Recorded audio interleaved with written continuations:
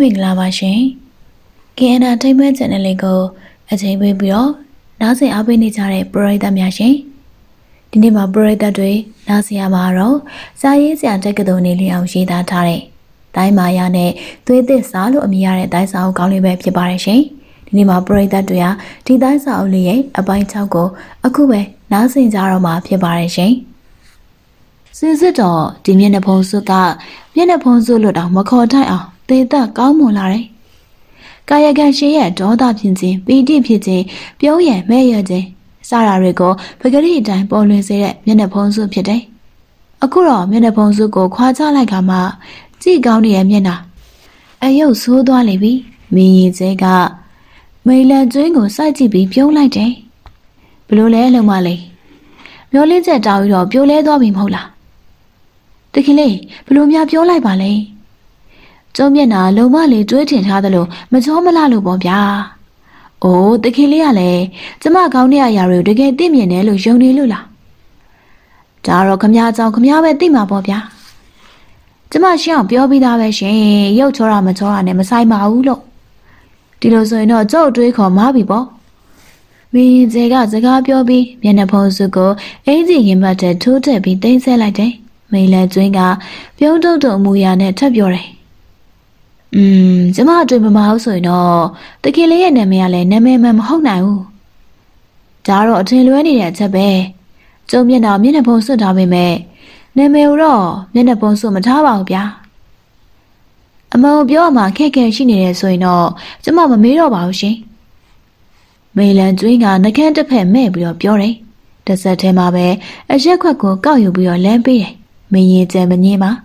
လမ်းပေးတဲ့အရက်ခွက်ကိုခတ်သွက်သွက်လမ်းယူလိုက်ပြီးတရှိန်နဲ့မို့တောက်လိုက်တယ်။ကိုကိုကိုလည်းဒီမိမချောလောက်အကင်းမပါနှလုံးရည်မပြည့်စုံလို့ယူဆမိတယ်။တခဏအတွင်းမှာပဲမိမိရဲ့အားနည်းချက်တွေကိုတွေ့မြင်လာတယ်။လုံမလေးကဒူးကျုံထက်မြက်တဲ့မိန်းကလေးပဲ။ဒီမှာလာပြီးအလုပ်လုပ်နေတာတော့စဉ်းစားလို့မရဘူး။ပညာကောင်းတွေကိုထိမ့်ဝက်ထားပုံရတယ်။ သိလည်းအထင်မကြီးနေပါနဲ့ရှင်အမှန်တကယ်ရရှိထားတဲ့ပညာတွေကချိန်ဝက်ထားတာကျမမဟုတ်ပါဘူးသခင်လေးရဲ့မင်းရဲ့ကျဲမျက်မှောင်ကျုပ်သွားတယ်ဒါနဲ့လုံးမလေးရဲ့ဇာတိအောင်ဗျာကျမပြောချင်တာကျမတိုင်းမျိုးနဲ့ဆွဲတွေကမိမတယောက်ပါကျမရဲ့မိဘနှစ်ပါးကကျမငယ်စဉ်တည်းကကွယ်လွန်သွားခဲ့ပါတယ်အဲဒါကြောင့်မို့ကျမအားကိုးရမယ်ပြီးတော့ဘဝလည်းကျင်းခဲ့ရပါတယ်ကြောင်းလည်းကောင်းကောင်းမနေခဲ့ရပါဘူး တမ်းပညာလည်းပေါ့ပေါ့ရောက်ရောက်မတင်ကြခဲ့ရဘူးအသက်မွေးဝမ်းကြောင်းပညာဆိုရင်လည်းဘာမှမမေရရမရှိဘူးအဲဒါကြောင့်တနေ့တစ်စေးလာပြီးတော့တေးတီလှုပ်ရှားနေရပါတယ်ရှင်စိတ်မကောင်းစရာပဲဗျာဒါနဲ့လုံမလေးမှာတခြားရွက်ချက်ကောမရှိဘူးလားဘယ်လိုရွက်ချက်လဲမိမသားတယောက်အနေနဲ့ခုလိုဘဝမျိုးမှာလင်ယူဖို့ပဲရှိရတာပေါ့ရှင်ဒါပေမဲ့ခုလိုဟိုတယ်မှာ တေးတီမယ်လုံနေပြီးတော့ဘယ်ယောက်ကြာအဒီတကြယူတော့မှလဲရှင်ကဲတခင်လေးရောကျမကိုလက်ထပ်ချင်ရလားရှင်မင်းရင်ကျဲကမမျော်လေးနဲ့အမေကိုကြားလိုက်ရလို့ခေါင်းတစ်ပန်းကြီးသွားတယ်အတန်ကြာတော့ရီကျဲကျဲပြန်ဖြေတယ်လုံမလေးကိုလက်မထပ်ချင်ပါဘူးလို့မပြောချင်ပါဘူးပြောစရာလည်းအကြောင်းမရှိပါဘူးတကယ်တော့ကျုပ်ကစာပေသမားတယောက်ပါကျုပ်တယောက်ထဲတော့အနိုင်နိုင်ရှာစားနေရတဲ့ဘဝပါဗျာလုံမလေးဘဝနဲ့ဘာမှမထူပါဘူး အဲဒါကြောင့်မိမယူဖို့ကိစ္စကိုစိတ်ကူးတဲ့တောင်မထည့်ဖို့ပါဘူးဗျာကျမမေးနေတာတကယ်လေးအနေနဲ့ကျမကိုလက်ထယူခွင့်သလားမယူခွင့်ဘူးလားဆိုတာပါကျုပ်ပြောနေတာမယူခွင့်ဘူးလို့ပြောနေတာမဟုတ်ပါဘူးကျမတဘောကတော့မေတ္တာစစ်နဲ့လက်ကင်းလိုက်တော့ဘဝဒုက္ခဟူသမျှကိုရရဝိုးကိုရင်ဆိုင်ရဲပါတယ်ရှင်မင်းရဲ့ကျဲကခေါင်းလဲမငိမ့်ခေါင်းလဲမခါတော့မိန်လည်းကျွင်းကခေါင်းကိုပဲတွင်တွင်ခါရဲနေပြန်နေ အဲ့ဒီအချိန်မင်းရင်ကျဲကအရက်ခွက်ကိုမြောက်ကင်ပြီးတော့ကဲလုံမလေးဒီအထက်အရက်တွေကိုတောက်လိုက်ပါအောင်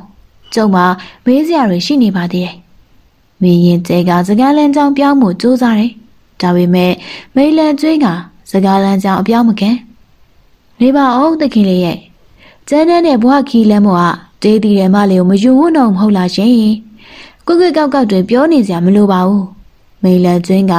မင်းရင်ကျဲကမ်းပြီးတယ်အရက်ခွက်ကိုမော့တောက်လိုက်ပြန်တယ်အဲ့ဒီအခါသူမရဲ့မျက်နှာကစောစောကထက်ပိုပြီးတော့နေရဲလာတော့တယ်အဲ့ဒီနောက်တော့တစုံတရာပြောဖို့ပါစဟလိုက်မိပြန်တယ်အဲ့ဒီအချိန်အပြင်ဘက်ကချောင်းဟန်တန်ကိုကြားလိုက်ရတယ်။တစုံတရာအဆက်အသွယ်လုပ်တဲ့ချောင်းဟန်တန်လို့ထင်တယ်။ချောင်းဝင်းထဲမှာရှိနေတဲ့လူတယောက်ရဲ့ချောင်းဟန်တန်ဖြစ်လိမ့်မယ်လို့ထင်တယ်။အဲ့ဒီအချိန်မင်းရင်ကျဲရဲ့အမူအရာပြောင်းသွားတယ်။ အရက်တစ်ခွက်ထပ်တောက်လိုက်ပြီးဘလုံးပထွေးပြောတော့တယ်။ဟုတ်တယ်။ကျုပ်မှတတိမရှိဘူး။မိန်လန်ကျွင်းမျက်လုံးပြူးသွားတယ်။တခင်လေးဘာပြောလိုက်တာလဲရှင်။မင်းရင်ကျဲကထပ်မဖြစ်မိန်လန်ကျွင်းကိုပဲအာယုံဆိုင်ကြည့်လိုက်တယ်။ကျုပ်မိတာကိုဖြည့်စေချင်ပါတယ်။လိုခဲ့တဲ့၃နှစ်လောက်ကပြတ်ဆောင်သားရှည်စာပေသမားဆိုတဲ့တိုင်းသမားတယောက်ကိုအရက်ထဲမှာအစိတ်ခန့်ခဲ့လို့ဒုက္ခရောက်သွားတဲ့အကြောင်းကြားဘူးလားလုံးမလေး။ မင်းရဲ့ကျအဆက်ဆက်မရှိပဲမေးတယ်။မိန်လန်ကျွင်းကထူးခြားဟန်မပြ။ဖြစ်ရဖြစ်စဉ်တစ်ခုလိုပဲသဘောထားပုံရတယ်။ဟုတ်ကဲ့ကြားဘူးပါတယ်သခင်လေးရဲ့။တိတ်တနာစရာကောင်းနေနော်။อืมလူတွေကအဲ့လိုပဲပြောနေကြပါတယ်။အဲ့တော့ကျုပ်ကသူ့မင်္ဂလာပွဲကိုတွားရောက်ချီးမြှင့်ခဲ့ပါတယ်။အဲ့ဒီကိစ္စကိုသင်ခန်းစာယူပြီးတော့ကျုပ်လည်းနောင်ဘယ်တော့မှအရက်မတောက်တော့ဘူးလို့ကိုဖာသာတစ္ဆာဆိုခဲ့ဘူးပါတယ်ဗျာ။ဒါပေမဲ့ အိုးအဲ့ဒါတော့တခင်လေးရဲ့အစိုးရင်ကြီးမှုပါ။မဟုတ်ဘူး။တယောက်ယောက်ကသာကျုပ်ကိုအဲ့ဒီနေ့တိုင်းလှုပ်ကြင်ခဲ့တော့ကျုပ်ကတေးမအမှန်ပဲ။ကဲပါရှင်းရှင်းပဲပြောပြရစီ။ကျမတိုက်တဲ့အရက်ကိုတင်ကမကင်းဖြစ်လို့ပြောနေရမလား။မဟုတ်ပါဘူး။ကျုပ်ကရန်ကျိုးမြို့ရဲ့ကြက်သေးဆောင်ထိတ်တဟိုတယ်ရအရက်ကိုပြောနေရပါ။ဘာလို့ဆိုလိုတာလဲတခင်လေးရဲ့။ မင်္ဂလာပွဲအတွက်အထူးစီမံထားတဲ့ထိတ်တဟိုတယ်ရတည်တဲ့အရက်အကြောင်းလုံးဝလေးတကယ်မသိလို့မင်းနေရလားဗျာ။မိလန်ကျွင်းရင်နဲ့ထိတ်ကနေဖြစ်သွားတယ်။ဒါပေမဲ့အိန္ဒြေမပြတ်ထိန်ပြီးတော့ပြောတယ်။ခုကျမတိုက်တဲ့အရက်ကကျမကိုယ်တိုင်ချက်ထားတဲ့အရက်ပါ။စိတ်ကြလက်ကြတောက်လို့ရပါတယ်ရှင်။ကျုပ်ခမ ्या ကိုယုံပါတယ်။အဲဒါကြောင့်လဲသုံးခွက်တိတိတောက်ပြီးသွားပါပြီ။ကျုပ်ကိုယ်တိုင်ကျိန်ဆိုသစ္စာပြုတ်ထားတာကိုပယ်ဖြတ်ပြီးမှ တန်ဝေကရလာမိလို့ပါ။တခင်လေးကတော်တော်အပြောကောင်းနေလူနော်။ချင်းလို့ပါလုံမလေးရဲ့။တနေ့လုံမလေးရန်ကျိုးကိုရောက်နေတာတော်တော်ကြာသွားပြီလား။ဒီနေ့ကြော်ပါပြီ။ဘာဖြစ်လို့လဲတခင်လေးရဲ့။ချိန်တန်းဟိုတရားအထက်လူကြီးတွေနဲ့ရွှေမြရင်းနှီးသလားလို့ပါ။ကိစ္စရှိလို့လားတခင်လေးရဲ့။ကျုပ်သိကျင်တာတွေစုံစမ်းကျင်လို့ပါ။ဘသူအကြောင်းများလဲရှင်။ မန်နေဂျာငွေကိုင်းခုံဘဲရဲ့အကြောင်းပါ။သူဟာလျှို့ဝှက်ပြီးတော့ဘဝပြောင်းထားတဲ့တိုင်းသမားတစ်ယောက်မဟုတ်လားဗျာ။မိလိန်ကျွင်းရဲ့တင်းငယ်တဲ့မျက်ခုံးတန်းကလေးတွေကနှစ်ဖူးပေါ်မြင့်တက်သွားတယ်။တခင်လေးအထင်လွဲနေရပါ။မလွဲပါဘူးဗျာ။ "तू ကကြောက်တယ်မဲ့ကန်ကြောင့်ဝန်ခံပြီးသွားပါပြီ။မိန်လင်းကျွင်းမျက်နှာတိတိတာတာပြက်သွားတယ်။ "तू ဝန်ခံတယ်ဆိုတာတကယ်ဟုတ်ရဲ့လားရှင်။ ဟုတ်ပါတယ်ဗျာ။ကြောက်လို့ကြံမပြောတတ်ပါဘူး။ဒါဆိုအံ့ဩစရာပဲနော်။သူ့လိုပိန်ကက်ချုပ်တယောက်နဲ့အဖိုးကြီးတယောက်ကတိုင်းသမားဖြစ်ရတယ်ဆိုလို့ကျမကတော့လေသူဝန်ခံတယ်လို့လေဟုတ်မယ်မထင်ပါဘူးရှင်။လောကမှာပုံပွဲတဲ့ကိုမြင်ုံနဲ့အတွင်းသဘောကိုမသိနိုင်တာတွေအများကြီးပါပဲဗျာ။အဲဒီလူကလည်းသူ့အတွင်းတရုပ်ကိုဟန်လုပ်ပြီးတော့အကြိုင်းနေနွယ်ဆွမ်းရှိတဲ့လူကိုဗျ။ဒါဖြစ်လေဘာကြောင့်မင်းနေရတာလဲရှင်။ ဟုတ်ပါတယ်။ကျုပ်ထပ်မမေးတော့ပါဘူး။မိလေကျွင်းကဘာမှဆက်မပြောတော့ပဲတဟင်းဟင်းရှိနေတော့တယ်။သူတို့နှစ်ယောက်ကကို့အကျန်နဲ့ကိုအကွက်ချောင်းနေသူတွေဖြစ်တယ်။သူတို့ကတိတ်တဆိတ်ချင်းဆိုပြီးတော့တယောက်ကိုတယောက်မေးမြန်းစုံစမ်းနေကြပေမဲ့တွက်ချင်မကြိုက်ကြ။အချိန်သာတွေ့ရင်ကုံဆုံးသွားခဲ့ပေမဲ့သူတို့လိုချင်တဲ့တဲ့ရင်ကိုဘာမှနိုင်မယူနိုင်ကြ။မင်းရင်ကျဲကဆက်လက်ဆွေးနွေးဖို့မလိုအပ်တော့လို့ယူဆလိုက်ပြီးဖြစ်လို့ မိန်လင်ကျွင်းကိုနှုတ်ဆက်ပြီးထာယာကထားလိုက်တယ်။မိန်လင်ကျွင်းကလည်းမတား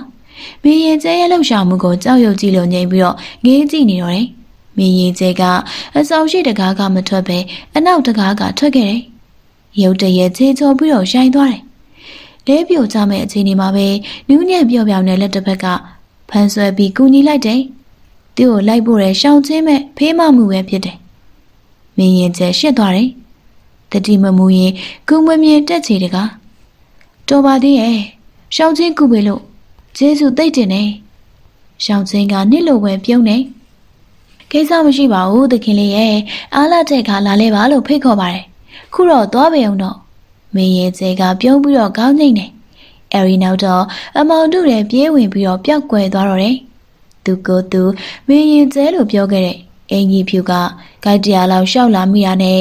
နောက်ရောက်ခဲလိုက်လာမှုကိုတတိပြုမိလာတယ်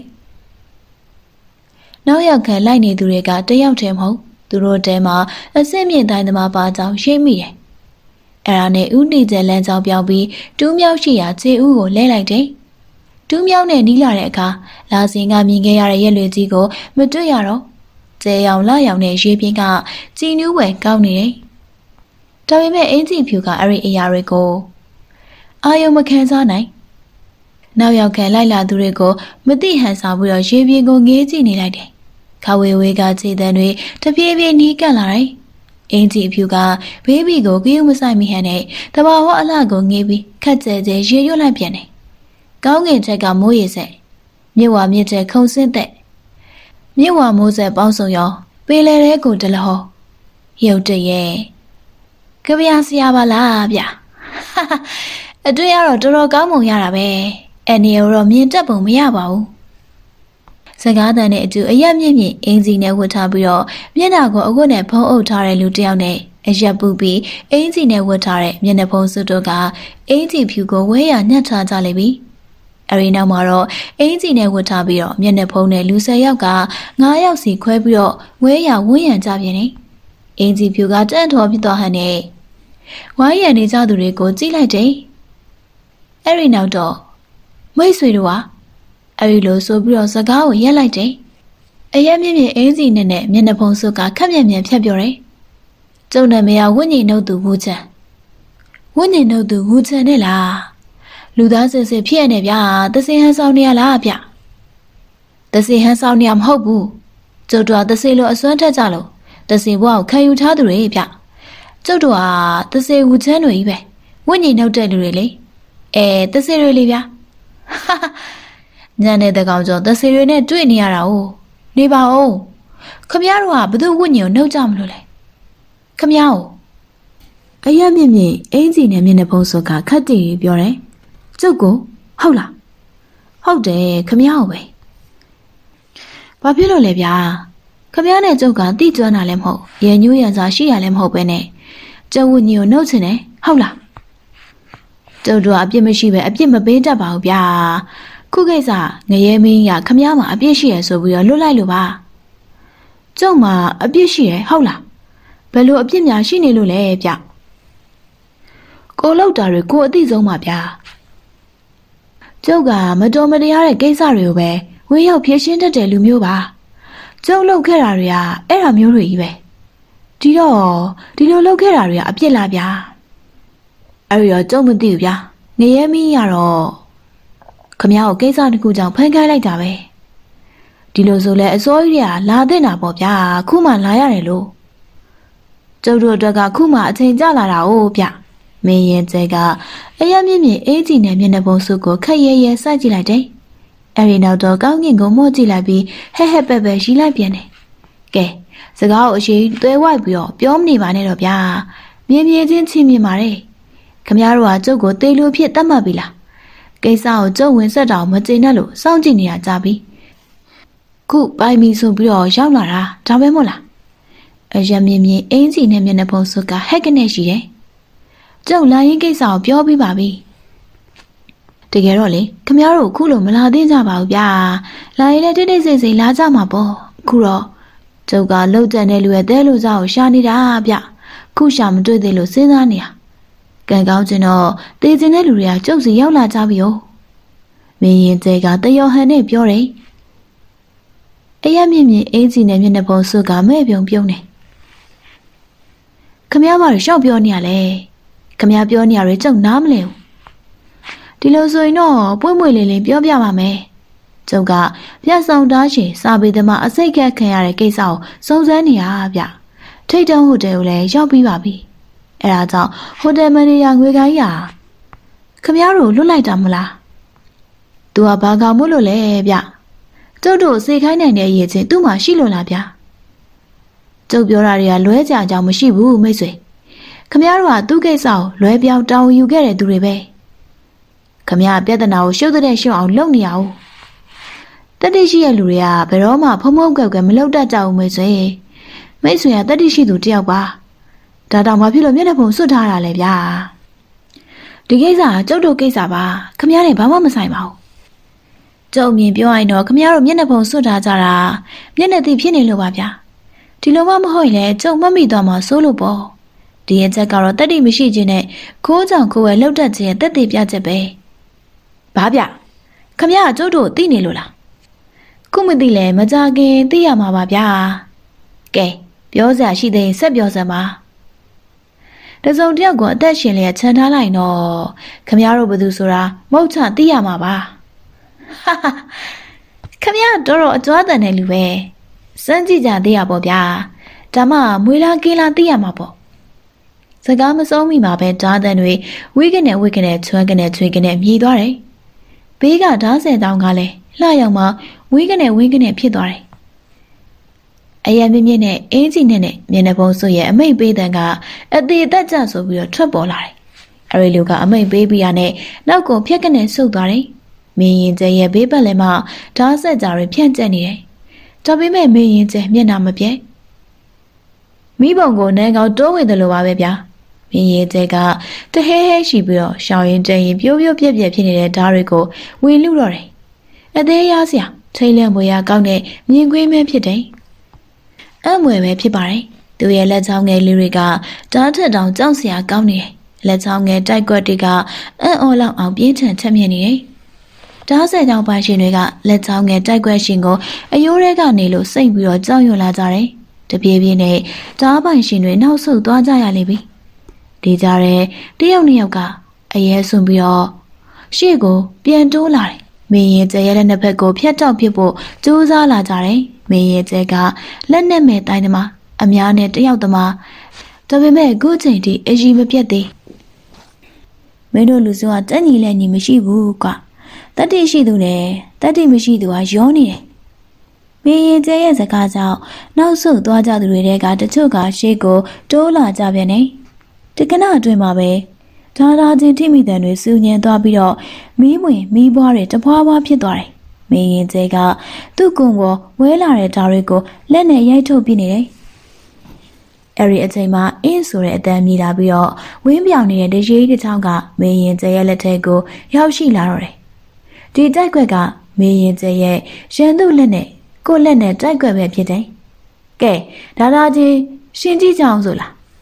မင်းရင်ကျန်လက်ထက်ကဒါကအလျက်တစ်ပြက်အတွင်းမှာပဲဓာတ်ဆက်ဝါရီကိုခုဖြစ်သွားတယ်။အစိမ့်မြင့်တိုင်းသမားတွေရဲ့တိုက်ပွဲရေးဖြစ်တာကြောင့်ဓာတ်ချက်တိုင်းဓာတ်ခွက်တိုင်းကလျက်ပြက်တာတဲ့မြဲနေတယ်။အဖြူရောင်နဲ့အမဲရောင်တွေကရောထွေးသလိုဖြစ်နေတယ်။ဓာတ်တန်ချင်းမန်သွေးအော်ဟစ်တန်တွေစူညံနေတယ်။ဓာတ်သားချင်းရိုက်မိလို့ထွက်လာတဲ့မီးပွင့်တွေကမီးပန်းတွေကိုအောက်မေ့ရတယ်။မင်းရင်ကျဲရဲ့တတိယမြောက်ဓာတ်ခွက်နဲ့ တိုင်းခွဲတို့ထုတ်ပြီးသွားတဲ့အခါတော့အင်းကြီးနဲ့တယောက်ကစူးစူးဝါးဝါအော်ဟစ်ပြီးလွင်စင်သွားတော့တယ်။အရိဖြစ်ရကြောင်ရန်သူတွေကဘေးကိုရှဲထွက်သွားကြတယ်။မင်းရင်ကျဲကရန်သူတွေရဲ့အလယ်မှာမမကြီးရက်နေသေးပဲ။အင်းကြီးနဲ့နှစ်ယောက်ကဘေးမှာလဲကျနေတယ်။၆ယောက်ကလက်ကဝတ်ကနေလို့ပြက်နေပြီ။ကျန်တစ်ယောက်ကလက်လုံးဝမရှိတော့အရာမြင့်မြင့်အင်းကြီးနဲ့မျက်နှာဖုံးစွပ်ကအင်ကိုတင်းနေစိတ်ပြီးတော့မင်းရင်ကျဲကိုစိုက်ကြည့်နေတယ်။ အတန်ကြာမှစိတ်လှုပ်ရှားနေတဲ့နဲ့ပြောလာတယ်မိတ်ဆွေရဲ့တိုင်းပညာကငွေရီမော်နဲ့ဒန်းလူရှိနေတာပဲ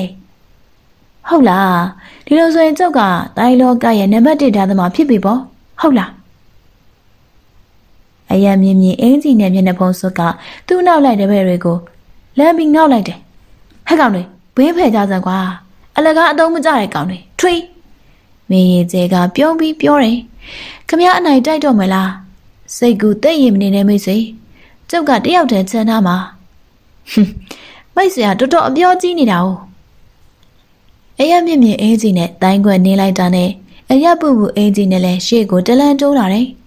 ဘေးမှာရှိနေကြတဲ့အေးကြီးနဲ့ကိုနောက်လိုက်တွေကလဲပြုံနေတဲ့ရောင်ရင်းတွေကိုတဲပိုးချီမှပြီးတော့ပြင်းထွက်ကြလိမ့်ပြီခမရတို့နှစ်ယောက်ကအပိုင်နိုင်တိုက်ကြတော့မှာဘူးရပါတယ်ဗျာရပါတယ် ကျုပ်ကရေအတွက်လူမရိုးတဲ့လူပါအယံမြင့်မြင့်အင်းကြီးနဲ့မျက်နှာဖုံးစွလူကအတန်ထွက်ပြီးရည်တယ်ဟာကျုပ်တို့မိတ်ဆွေရှင်းနိုင်မရှင်းနိုင်မစားခင်သိရမှာပါအကြေအမှန်ကန်ဆုံးအဆုံးဖြတ်ပေးနိုင်တဲ့တရားသူကြီးပါဗျာကဲအသင့်ပြင်များမင်းရင်ကျဲကဓာတ်ကိုမြောက်ပြီးတော့ပြောတယ်အင်ကြီးနဲ့နှစ်ယောက်နောက်ကိုတလန်းစီပြန်ဆုတ်သွားတယ်ကျုပ်တို့ဟာလက်နဲ့မဲ့တိုက်ခိုက်မှာပါမိတ်ဆွေအော်အော် ကျုပ်ကလည်းအခွင့်အရေးပိုယူတတ်တဲ့လူစားမဟုတ်ပါဘူးကြိုက်တယ်လို့ရပါတယ်မင်းရင်ကျဲကစကားဆုံးတာနဲ့သူ့လက်ထဲကဓာတ်ကိုတောက်ကနဲ့မြင်အောင်ချိုးပစ်လိုက်ပြီးတော့ဓာတ်ကျုံနှစ်ပိုင်းကိုဝက်ခနဲ့ပစ်လိုက်တော့တယ်ဓာတ်ကျုံတစ်ခုကများတဲ့လေးတွေလိုအင်ဂျီနဲ့နှစ်ယောက်စီကိုပြေးဝင်သွားတော့တယ်အင်ဂျီနဲ့နှစ်ယောက်စီကအမေရိကန်ထွက်ပေါ်လာတယ်မြန်နေသူတို့နှစ်ယောက်စလုံးမြင်ပါတယ်များလိုဝင်လာတဲ့တိုက်ကွက်ကိုကြောင်လိုရှောင်တိန်သွားနိုင်တယ် ဓာတ်ကျုံနှစ်ပိုင်းကဝီကနေမြည်ပြီးတော့တူးမြောက်ရည်ပြင်းနဲ့ဆွက်ကနေကျသွားတယ်အင်ဂျင်နီယာနှစ်ယောက်ကလျှက်တစ်ပြက်တိုက်ကွက်ကိုရှောင်တိန်နိုင်ခဲ့ပြီးမိကျွေးပြန်လာတာကတော့အမှန်ပဲဖြစ်တယ်။မင်းရင်ကျဲကသူတို့ကိုကြည့်ပြီးတော့ပြုံးတယ်။အရီနောက်တော့မခန့်ချင်းအောင်ထပ်ပြောတယ်။ကျုပ်တိုက်ကွက်ကိုရှောင်နိုင်နေဆိုပြီးတော့ကိုယ့်ကိုယ်ကိုတိတ်ပြီးတော့အထင်ကြီးမသွားကြနဲ့။ဒါကြုံတစ်ခုကိုနည်းနည်းလေးနှိပ်ပြီးတော့ပြစ်လိုက်ရင်ခမရတို့ဘလို့မှရှောင်မလို့ဘူး။ကျုပ်ကခမရတို့အရှင်ဖန်းကျင်လို့ရှက်ပြစ်တာ သဘောပေါက်ရဲ့လား။အင်ဂျင်နဲ့ကဘာမှပြန်မပြော။လရောင်အောက်မှာမျက်နှာနှစ်ခုကပို့ပြီးတော့နေရဲလာတယ်။အဲဒီနောက်တော့နှစ်ယောက်ပူတိုက်ကွက်နဲ့တဟုန်တို့ခုံဝေးလာကြတော့တယ်။တပြိုင်နက်တည်းမှာပဲသူတို့ရဲ့လက်ဝါးရချက်တွေကဇက်တိုင်ကြားရောက်လာတယ်။ဒါပေမဲ့မင်းရင်ကျဲကရှင်းလို့ရှောကနေရှောကနေရှောင်ထွက်သွားတယ်။ခမရတို့နှစ်ယောက်ကဟိုအင်ကြီးနဲ့ဆက်ရောက်တဲ့တိုင်းပညာထက်မြက်တဲ့လူတွေပဲ။ ကျုပ်ခက်မှန်းထားတာနည်းနည်းလွဲသွားတယ်ဗျာ။တကယ်တော့ခမရတို့နှစ်ယောက်ကရှားပါထက်မြက်တဲ့တိုင်းပညာရှင်တွေပဲ။အဲရီအချင်းအင်ဂျီနဲ့နှစ်ယောက်ရဲ့ရက်ချက်ကတပြိုင်နက်ဝင်လာပြန်နေမင်းရင်ကျဲကရန်သူရက်ချက်ကိုထိတ်တရင်ဆိုင်ပြီးတံပြန်ရိုက်ထုတ်လိုက်ပါတယ်လက်ဝါးချင်းရိုက်မိတဲ့ကကြောက်မွဲ့ဖွယ်မီဟီးလာတယ်အင်ဂျီနဲ့နှစ်ယောက်ကပြင်းထန်တဲ့ပြင်းထန်အားကြောင့်အနောက်ကိုအနှဲငယ်လွင်ထွက်သွားတယ်ဒါပေမဲ့ဟမ်မပြက်ပဲနောက်ဆုတ်နိုင်ခဲ့တယ် ကျုပ်လက်ဝါးပြင်းဆိုင်ပြီးတော့ဟမ်မပြက်ပဲနောက်ဆုတ်သွားနိုင်တဲ့လူတွေကတိုင်းလောကတစ်ခုလုံးမှာ၄၅ယောက်ပဲရှိနိုင်မယ်ထင်တယ်တော်ပါတယ်ခမရတို့နှစ်ယောက်လည်းတော်ပါတယ်အယက်မြင့်မြင့်အင်ဂျင်နဲ့ဝတ်ထားတဲ့မျက်နှာဖုံးစုကတစ်ချက်ရီးပြတယ်ကျုပ်တို့နှစ်ယောက်ရဲ့လက်ဝါးတိုင်းဘက်ကိုခုခံနိုင်တဲ့လူတွေကခမရပါမှာ၃ယောက်လောက်ရှိရပါဒီဒီကြကြပြောရရင်တော့တတ္တမနတ်မင်းကျိုတွန်းကျွင်ရဲ့ ပြတ်ဆောင်သားရှင်စာပေသမားဝူရင်မောရဲ့အမည်မသိခမရရဲ့ဒါပါပဲဒါပါပဲဟုတ်ပါတယ်ကျုပ်ကတတရလူပဲမင်းရင်ကျဲကမတိတတိပြောတယ်။အယက်မြင့်မြင့်အင်းကြီးနဲ့ကရှိတိတိပြန်ပြောတယ်။ကျုပ်တို့ရဲ့တိုက်ကွက်တစ်ကိုခမရခုခံနိုင်မအောင်လား။ကျုပ်တော့တန်တရားရှိနေသေးပါပဲ။ဒါတော့ခမရတို့ရဲ့လက်တွေကခမရတို့အမြင်မှန်ပေးထားပြီးပါပြီ။ကျုပ်ပြောချင်တာပြဆောင်သားရှင်စာပေသမားကအစိတ်သိလို့ယူသွနေပါပြီ။ အဲဒါကြောင့်ခမရတို့ညီနောင်ရဲ့တိုက်ခိုက်မှုကိုခုခံနိုင်သူစီးရင်တွေကပဲဖြစ်ရလိမ့်မယ်။လျော်ကန်တက်မြတ်တဲ့အကြံပေးချက်ပဲကွာ။အဲကြီးနဲ့နှစ်ယောက်ကတသဲသေးရှိပြီးတော့လက်တစ်ပြက်တိုက်ခိုက်လိုက်တယ်။သူတို့ရဲ့တိုင်းွက်တွေကမင်းရင်ကျဲရဲ့အရေးကြီးတဲ့အစိတ်ပိုင်းတွေနဲ့သွေးကြောမတွေကိုရွေးချယ်တိုက်ခိုက်တဲ့တိုက်ွက်တွေဖြစ်တယ်။ဒီနေရာမှာမင်းရင်ကျဲစားတခြားလူတယောက်သာဆိုရင်တော့သူတို့ရဲ့တိုက်ွက်အောက်မှာအသက်ပြောက်နေလောက်ပြီ။ အဲဒါကြောင့်မင်းရင်ကျဲမပေါ့ဆောင်ဝန်တော့သူရဲ့တိုက်အားကိုအဆင့်ရှစ်ထိအောင်တိုးမြင့်ပြီးတိုက်ခိုက်ရတော့တယ်။တိုက်ပွဲကတစ်ချိန်နဲ့တစ်ချိန်ကြောက်စရာကောင်းတဲ့ထက်ကောင်းလာတယ်။ပြင်းထန်တဲ့ထက်ပြင်းထန်လာတယ်။တိုက်ကွက်ပေါင်းရှစ်ကွက်ထိအောင်မြင့်တက်လာပြီဖြစ်ပေမဲ့မင်းရဲတဲ့အသက်စီမရသေး။အရက်မြင့်မြင့်အင်ဂျီနဲ့တိုက်ကွက်နဲ့အရက်ပူပူအင်ဂျီနဲ့ရဲ့တိုက်ကွက်ကတေခွင်းတေခွက်ကိုပဲဦးတည်နေတဲ့တိုက်ကွက်တွေဖြစ်ကြောင်းထင်ရှားနေတယ်။ အဲဒီလောက်သဲကြီးမဲကြီးဖြစ်နေတာကအံ့ဩဖို့ကောင်းတယ်။သူတို့ကဘသူတွေဖြစ်လေတယ်လဲ။မင်းရဲတဲ့စဉ်းစားလို့မရသေး။ရန်ကျိုးမြို့ထိတ်တန်ဟိုတယ်မှာလည်းဒီလူနှစ်ယောက်ကိုမမြင်ဘူးကဲသူကအတွေ့အကြုံများသူဖြစ်ပေမဲ့ဒီလူနှစ်ယောက်ရဲ့တိုင်ခွက်တွေကိုဘဲကိုင်းအဖွဲ့ကတိုင်ခွက်လို့မခက်မှန်းနိုင်ဖြစ်နေတယ်အခုအတွေ့အကြုံကအလုံးထူးခြားစမ်းကြတဲ့အတွေ့အကြုံမှဖြစ်တယ် အဲ့ဒီအချိန်ရန်သူရဲ့တိုက်ကွက်သက်ကလျှက်တစ်ပြက်ဝင်လာပြန်တော့တယ်ဒါပေမဲ့မင်းရင်ကျဲကမြင်ပါတယ်ပြင်းထန်ရက်ဆက်စွာဝင်လာတဲ့တိုက်ကွက်တွေကိုပြန်လာငှက်လို့ရှောင်တိန်ပေးလိုက်တယ်တပြိုင်နက်တည်းမှာပဲတိုက်ကွက်ကိုးကွက်ကိုထုတ်သုံးတော့တယ်ရန်သူကမေရီတဲရဲ့တိုက်ကွက်ဆယ်ကွက်ကိုကျော်လွှားလို့မြောက်နိုင်ပါကအံ့ဩစရာကောင်းလိမ့်မယ်။တိုင်းလောကရဲ့တကူလုံးတုံလို့ခြောက်ချသွားလိမ့်မယ် တိမ်မကြာမင်းရင်ကျဲဆယ်ခွက်မြောက်တိုက်ခွက်ကိုထုတ်သုံးရတော့တယ်အဟုတ်ပြင်းထန်တဲ့တိုက်ပွဲပဲဖြစ်တယ်ဘယ်ဟာအင်ဂျီနဲ့ဘယ်ဟာအင်ဂျီဖြူဆိုပြီးတော့ခွဲခြားမရအောင်ဖြစ်လာတယ်အဲ့ဒီအချိန်မှာပဲမင်းရင်ကျဲရဲ့လက်ထက်မှာအင်ဂျီလက်အိုးစားတစ်ခုရောက်ရှိနေပြီအရာပူပူမျက်နှာဖုံးဆွရဲ့နှစ်ဖူးမှာချွဲတွေတီးနေတယ်တစ်ဆက်တည်းမြင်လိုက်ရတဲ့အရာကအဲ့ဒီလူရဲ့လက်ဝဲဘက်လက်မောင်းစီကစီးကျလာတဲ့သွေးတွေပဲဖြစ်တယ်။ အရာမြင့်မြင့်လူရဲ့ညာလက်တစ်ဖက်ကပခုံးကနေလို့ပြက်ထွက်နေလေပြီ။ပန်းထွက်နေတဲ့သွေးတွေကရေပန်းတစ်ခုကရေလို့အောက်မေ့ရတယ်။နေရောက်စလုံးကမေးရီကျဲကိုထိတ်လန့်စွာကြောင်ကြည့်နေရကခြာကနဲ့လဲပြီးတော့ထွက်ပြေးကြတော့တယ်။မိတ်ဆွေတို့နှစ်ယောက်စလုံးပြေးလို့မဖြစ်သေးဘူးလေ။တယောက်တော့ကြံရည်နေစေရမယ်လို့ပြောထားတယ်မလား။မင်းရင်ကျဲသွေးအေးစွာပြောပြီးတော့ဒရကြံပြေးလိုက်တော့တယ်။ အဲဒီတော့အင်ဂျီနဲ့နဲ့လူနှစ်ယောက်စီကလက်နဲ့ပုံတွေလွင့်လာတာကိုတွေ့ကြုံရတော့တယ်။မင်းရင်ကျဲကဒေါသထောက်ကနေထွက်သွားရကလက်နဲ့ပုံတွေကိုခုံပြန်ရှောင်တိတ်ပေးလိုက်တယ်။ဘလို့လဲဗျ။ခမရတို့ကကောက်ကျင့်စင်းလိုက်တဲ့တိုက်နေရောတောင်သုံးရဲကြတယ်ဟုတ်လား။အင်ဂျီနဲ့မျက်နှာပုံစွန်းနှစ်ယောက်ကနောက်ကိုလုံးဝလဲမကြည့်တော့သူတို့ပြစ်လွတ်လိုက်တဲ့လက်နဲ့ပုံတွေက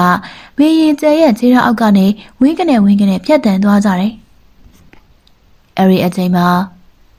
အင်ဂျီနဲ့နှစ်ယောက်ကမေရင်ကျဲနဲ့ဂိုက်90ကျော်လောက်ကိုရောက်ရှိသွားကြပြန်ပြီ။မေရင်ကျဲကဒေါသထွက်ထွက်နဲ့ဖြက်ကနေခုန်ပြန်ပြီးတော့ပြေးလိုက်ပြန်တယ်။အင်ဂျီနဲ့နှစ်ယောက်နဲ့မေရင်ကျဲတို့ဂိုက်30လောက်ပဲကော်လန်းတော့တဲ့အချိန်မှာလက်ဝဲပဲဘေးဆယ်ကိုက်လောက်စီကဝစ်ခနဲ့ဝစ်ခနဲ့လွင့်ပြန်လာတယ်။နဘေးဘက်က ချောင်းမြောင်းပြက်လို့လိုက်တဲ့လက်နက်ပုံတွေကအင်ဂျီနဲ့နေရောက်ထုတ်သုံးခဲ့တဲ့လက်နက်ပုံအမျိုးအစားပဲဖြစ်တယ်။ထူးခြားတာကအခုလက်နက်ပုံပြစ်အားကစောစောကလက်နက်ပုံပြစ်အားထဲပို့ပြီးတော့အားကောင်းနေတယ်။အဲဒါကြောင့်လက်မှန်နဲ့ပို့ဖြောက်နေတယ်။မင်းရင်ကျဲရဲ့ရင်ထဲမှာဒိတ်ခနဲ့မြည်သွားတယ်။မင်းရင်ကျဲလက်နက်ပုံတွေကိုတိန်ရှောင်နေစမှာပဲအင်ဂျင်နဲ့မျက်နှာပုံစွန်းတဲ့ယောက်ကအခွင့်ကောင်ယူပြီးတော့ကွယ်ပြောက်တိန်ရှောင်သွားကြတော့တယ်။ချောင်းမြောင်းပြစ်လွတ်လိုက်တဲ့လက်နက်ပုံတွေက မင်းရင်ကျဲအရှောင်ကောင်းလို့လို့တူးမြောက်ရည်ပြင်းတဲ့ကိုလွှင့်စင်သွားကြလိမ့်ပြီ။မင်းရင်ကျဲကလက်နက်ပုံတွေလွှင့်လာရာကိုမန်းစချင့်ချင်ပြီးလေ့လာလိုက်တယ်။တီကြသေးကြတဲ့အပြေမတွေ့။ဖုံးဝန်းကျင်မှာရန်သူပုံးကွယ်နေနိုင်တဲ့နေရာလည်းမရှိ။အံ့ဩဖို့ကောင်းတယ်။လက်နက်ပုံးတွေကဘယ်နေရာကလွှင့်လာကြသလဲ။ရန်သူကအဘယ်နေရာကနေပြစ်လွတ်လိုက်လဲ။မင်းရင်ကျဲဝေခွဲမရသေး။ရုတ်တရက် မင်းရင်ကျဲကတစုံတရာကိုစဉ်းစားမိလိုက်တာနဲ့ရန်နေရာကခုံပြန်ပြီးတော့ပြေးထွက်သွားတော့တယ်။အံ့ဩဖို့ကောင်းတယ်။မင်းရင်ကျဲကထိတ်တဲ့ဟိုတယ်ကြီးစီကိုဥတီပြေးခဲ့ပြန်လေပြီ။တိတ်မစားထိတ်တဲ့ဟိုတယ်ကြီးရဲ့ကိုရောက်ရှိခဲ့တော့တယ်။ဟိုတယ်ကြီးဟာတိတ်ဆိတ်ငြိမ့်သက်နေလေပြီ။တေးသေးတို့ရဲ့တခြင်းတန်တွေကိုလည်းမကြားရတော့။ ယူယူမူမူနဲ့အော်ဟေပြောဆိုနေတဲ့တွေလည်းတိတ်ဆိတ်နေလေပြီ။အဲကန်အလဲကမိအိမ်ကြီးကငိမ့်တည်နေလေပြီ။ရေးလိုက်ကနောက်ကတပြက်စီလဲနေသူတွေကိုကမြင်နေရသေးတယ်။စပွဲကုံတွေကိုရွှေ့ပြောင်ဆေးကြောနေကြတာကိုလည်းတွေ့ရတယ်။မင်းရင်ကျဲကခေါင်းတညိမ့်ညိမ့်လှူလိုက်ပြီးတော့ရေးလိုက်ကအတွင်းဘက်စီကိုလမ်းဝင်လိုက်တယ်။သူ့ကိုတွေးလိုက်ကြတဲ့စပွဲတို့တွေကအံ့အားအသင့်ချင်းတင့်သွားကြတယ်။ဟိုတယ်ပိတ်ပြီးဗျ မိအိမ်တွေလည်းငိမ့်ထားပြီးပြီ။အချိန်မတော်ဗျာမနဲ့မှလာတော့စပွဲတို့တယောက်ကစပွဲခုံကိုတုတ်နေရင်လမ်းပြောတယ်။မင်းရင်ကျဲကမခိုးမခန့်ပြုံးလိုက်တယ်။သူကစားဖို့တောက်ဖို့လာတာမဟုတ်ပါဘူးဗျာ။ခမရတို့ရဲ့ငွေကိုင်မန်နေဂျာကြီးနဲ့တွေ့ကျင်လို့ပါ။အော်ငွေကိုင်နဲ့တွေ့ကျင်လို့ဒီလိုဆိုကြော့ပါကြော့ပါအထဲကိုကြော့ပါ။စပွဲတို့တယောက်ကလေးစားဟန်နဲ့ပြောပြီးတော့လက်ထွက်သွားတယ်။ဟဲ့လူနေအောင် ကျုပ်ကိုငွေကိုင်ရှိတဲ့နေရာစီရအောင်လိုက်ပို့ပေးပါ။မင်းရင်ကျဲကတရောတော်ပါလမ်းပြောတယ်။အဲ့ဒီအချိန်မှာပဲအခန်းလေးတစ်ခုအတွင်းကခြေတံကိုကြားရတယ်။ငွေကိုင်းထွက်လာပြီထင်တယ်ဗျ။ဇပွဲတို့တယောက်ကသူ့ဖာသာရေရွတ်တယ်လို့ပြောတယ်။တိတ်မကြအခန်းငယ်လေးတစ်ခုတည်းကလူတစ်ယောက်ထွက်လာတော့တယ်။အဲ့ဒီလူကအသားရည်ဆိုပြေးပြီးတော့ဖွေးနှုတ်နေတယ်။တကယ်တတိဟန်ပေါက်တယ်။သူကအပြင်ကိုရောက်တာနဲ့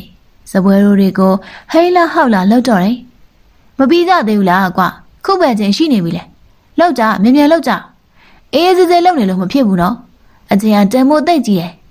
မင်းတို့လုံနေဘွားဘသူဝင်လုံလုံရတယ်ကွာမြမြမြမြအဲ့ဒီအချိန်စပွဲတို့တယောက်ကအဲ့ဒီလူအနာကိုတွတ်ကပ်ပြီးခက်ရွ့ရွ့ပြောတယ်တခင်ကြီး